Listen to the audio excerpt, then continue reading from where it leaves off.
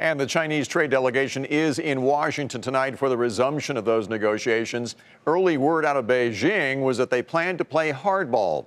But President Trump today wasn't tipping his hand about the U.S. strategy. Kayla Tausche reports. Talks with China reopened tonight after a dispute over the deal language has become public and vitriolic. President Trump is leaving his options open, praising Chinese leadership but scolding them for backing off their commitments. I have no idea what's going to happen. I did get last night a very beautiful letter from President Xi. Let's work together. Let's see if we can get something done.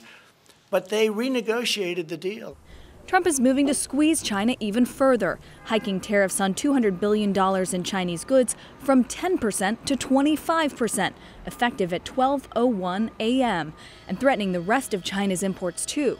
It'll be $325 billion at 25% and we're starting that paperwork today.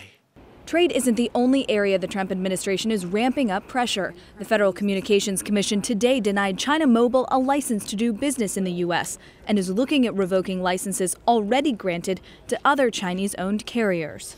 The security of our next generation networks cannot be an afterthought. It has to be a top level priority now. As talks continue, tensions simmer.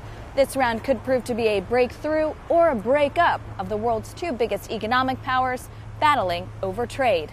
For Nightly Business Report, I'm Kayla Tausche in Washington.